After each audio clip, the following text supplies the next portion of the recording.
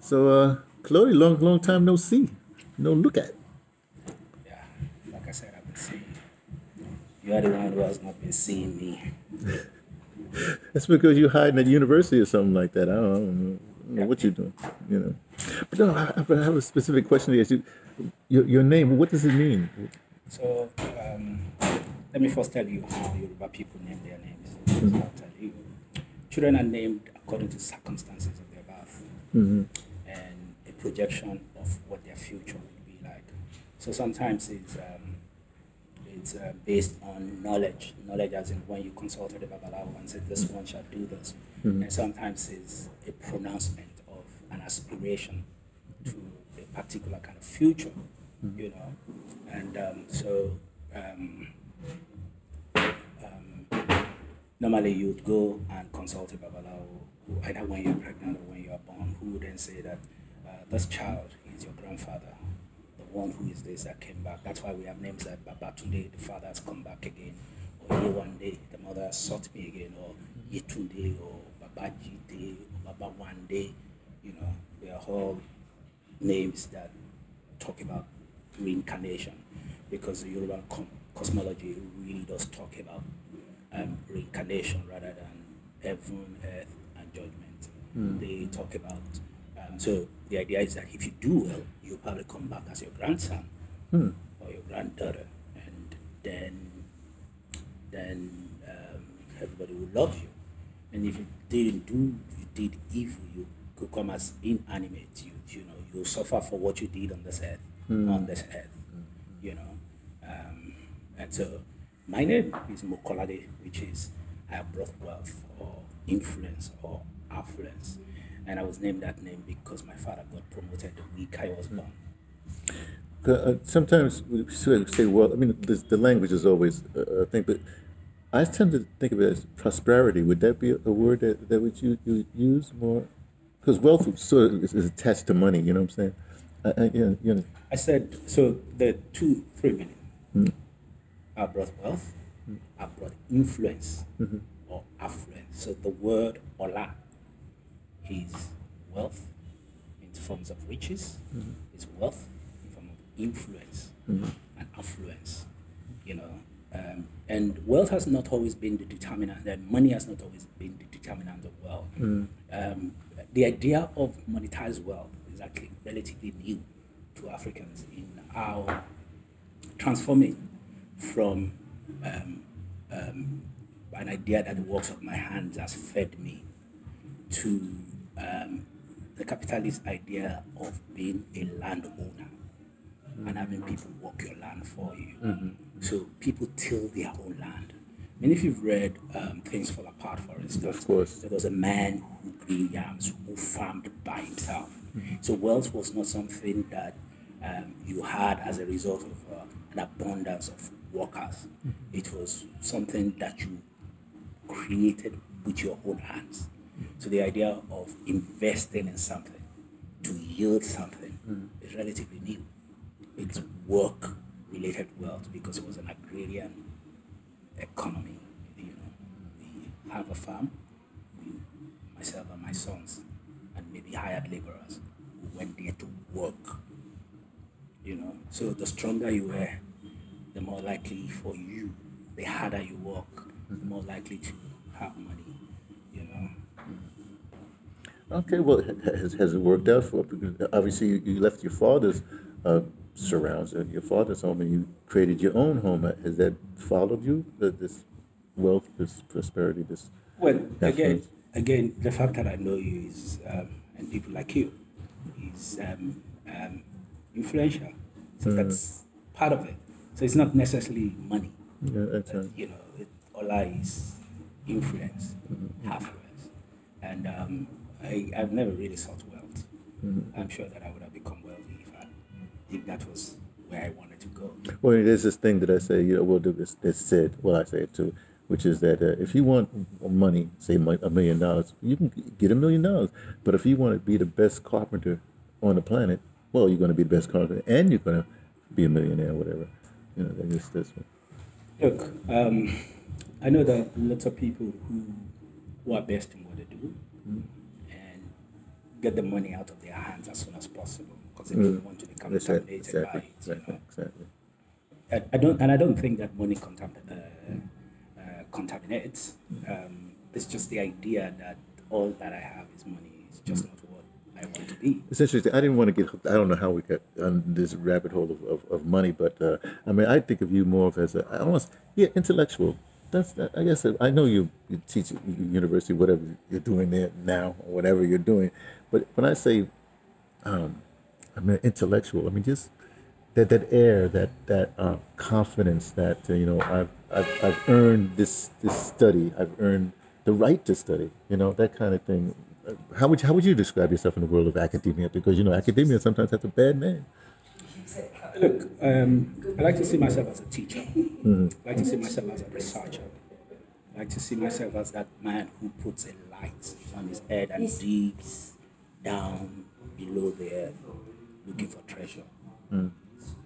You know, and that's what I like to see myself as um, a producer of knowledge. Um, um, a, a, and I do more than I do more than academics. I also consider myself as a cultural activist. A, cu- a cultural activist. I'm an archi- archivist. Archivist or activist? Activist, Activist, okay. you know. Um, um, I um, so it's not just about academics. It's not just about teaching. It's um, uh, there's a level of myself where I consider myself as a public intellectual, and A not public necess- intellectual. yeah, not necessarily in terms of dissemination of articulated knowledge. The fact that I can uh, bring music um, that nobody has talked about as something funky enough, something bluesy enough, and to give a narrative to it and say, oh, we're talking about blues today, and we will not play singular American blues because Yeah, there yeah, is something bigger than what the Americans have produced. There's a there's a motherboard, there's a mother knowledge from this part of the world that we can then bring to the world. And it's not contest. It's not um, it's not we are better than you or you are not better than us. It's not. It's just saying that um, like the Chimurenga pass saying there are other worlds out there you've not been told. You know. So Well, I'm not going to keep you long because you have other things to do, but I did. There's this thing, this might actually there's this thing that I, I sort of I heard in passing, something about the, the structure of music, um, how um, these, the um, numbers, you know, uh, if you have a certain number, it's more in tune with you, say, say the universe, but these other numbers is disruptive, and that's why the, the, the, the universe is going a certain way now. I think you'd be the perfect person to research this thing. I wish I would remember what it was.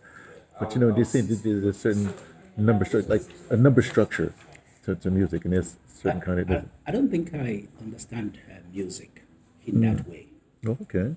That way of um, number structures. And all. I understand it from reading, as um, From reading, from reading. re- oh, rhythm. Okay, yeah, yeah. Now, um, where you have the sound of, say, um, the kind of music that I listened to in Nigeria growing up in Lagos, you know, which was um, influences of juju music, of Fuji music, of America's music, uh, funk music of people like Shalamar. Um, Incidentally, I met um, Jeffrey Daniels in Lagos when Pass was back in there. He came there and he lives there now.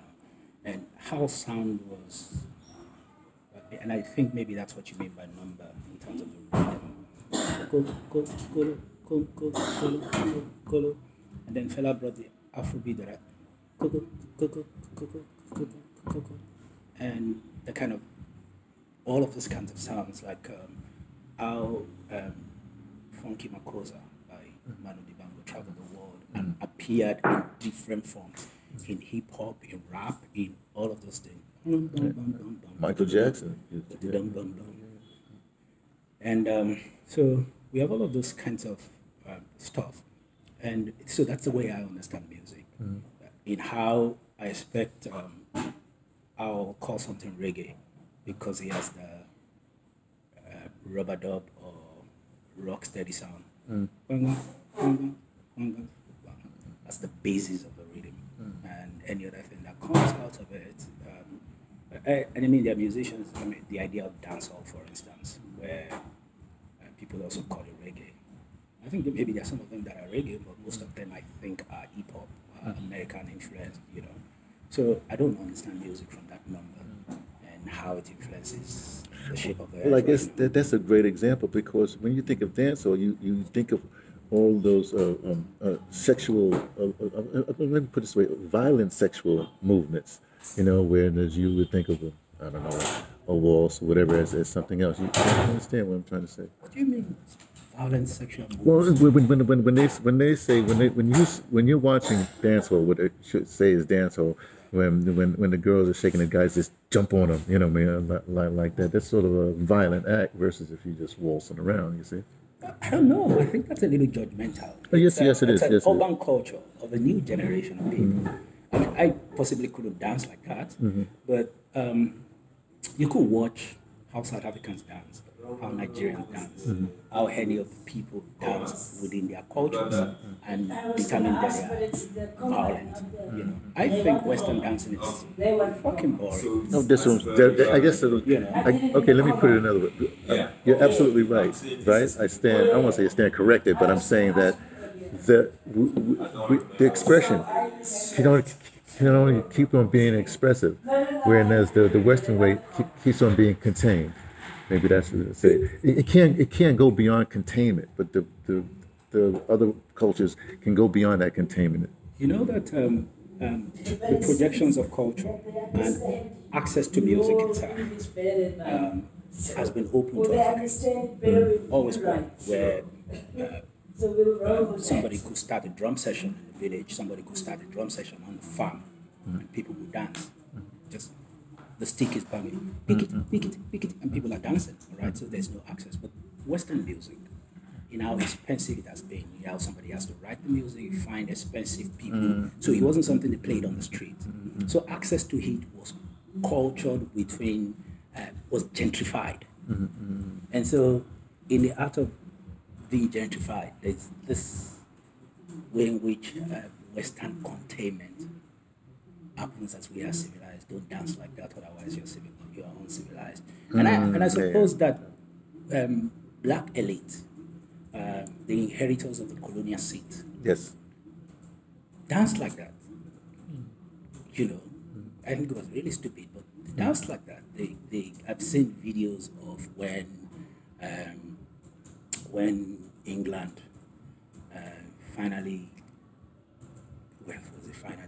They've never answered off Nigeria, but answered off Nigeria in the sense of independence. Um, the new elite were dancing with the queen like that, slow and stupid. You know, Well, you know the whole thing with Ralph Mugabe and all that stuff, but uh, anyway. you know, they were dancing like that on the eve of independence, waltzing to, Uh, oh yeah. to stuff. And if you listen to the kinds of music, um, I have a Nigerian collection of, um, of the eight- early 60s, late 60s. There was even the time that Calypso was a big thing in Nigeria, you know, and how uh, people sang differently. Um, choral music, which is still big in this country, you know. And um, so there's a, even the way Western music was, you know, all of the, all of the rock and Beatles and were influenced by black people playing music from America, you know, became, you know, it's a reflection of how we are.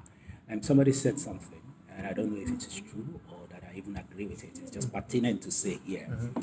that um, black people have reading because they, they, as babies, they were put on their mothers' backs, and they mm. had they had beat, mm. and the bouncing made them grow in rhythm. I don't know if that's mm. true or, or anything, but you know, even how we were held as babies is different. It's, you know, and let me give you this idea of, um, and it's something that is always a point of departure in how somebody is not a gentleman because you don't stand up for a lady, because you don't allow a lady move, uh, enter the lift before you. I was raised in a different society. Women were not disrespected. Women were what happened was that you got into a train and an older person came, male or female, you stood up for them. Mm-hmm. It was not the very idea of a woman as a weaker vessel mm. comes directly with the mm. Bible and Western ideas, the mm. idea of a man as a breadwinner. You know, because in an agrarian economy, we all went to the farm. You get what I'm saying? So now to say that I am not a gentleman because I don't stand up for a lady, when I was raised to respect my elders, an older woman walks into the train, I stand up. The older man walks into the train, I stand up. That idea of unifying cultures, where mine is not allowed to to to be part of the conversation, where uh, the norm is Western ideas of civilization, you know, then becomes problematic. You know, um, um, there's a Yoruba proverb: a man sees a snake, a woman kills it, as long as the snake is dead. Uh, yeah, So we're not saying that um, the woman cannot be a breadwinner. We're not saying, you know, but again, they are easier. It's easy. It gives more power to African men to to for women to be weaker vessels, for women to be all of those things, so that we move, you know. But the reality of it is that, um, I mean, it, that's not to say that I won't stand up for a lady or be nice to a lady, especially in the context of the world and um, and femicide and stuff. But where I come from, it's not ladies first; it's elders 1st mm-hmm. and I don't That's it. think that mine is inferior. Mm. You know, so don't come and tell me mm. crap mm. about me, you know, which goes to that dance part of it, the contained dance. I mean, somebody was talking about performing in some Western country, and as they performed, everybody kept quiet, and they couldn't tell whether they were doing well or not. And then when they finished, everybody stood up and clapped. Whereas where I come from, there's audience participation. Yeah, yeah. People are singing the song. People are standing up on their seats to to to to, to dance. People are are speaking back to the musician. You know, uh, and you know we are not uncivilized. We are just part of the music. We are we are part of it. You know, which is what musicians are probably missing out on Yeah. performing online now, because you don't know Oh, what the audience is feeling. Exactly. Well, listen, I don't want to, you know, you get to feed the family and all that stuff. And uh, look, to be continued. You know what I mean? Every once in a while, bump into you. We do this. Yeah. Thank you for the insight. So I don't get paid. No, Kolade, you do not get paid. This is, look, when does T ever pay anybody? That's T would be me from the Pattersons taking the train to Tibet, letting you know what I only suspect.